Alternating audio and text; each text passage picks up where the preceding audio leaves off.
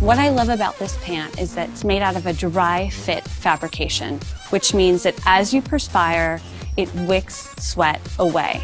It also has a lower rise in the front and a higher rise in back, which means that you're covered in the back and it's much more flattering to the figure in front.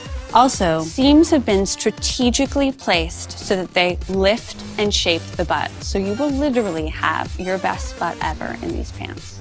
Another really cool thing about this pant is the hidden pocket. It's great storage for small items, keys, credit cards, so you can really be prepared for the gym and whatever else you need to do that day.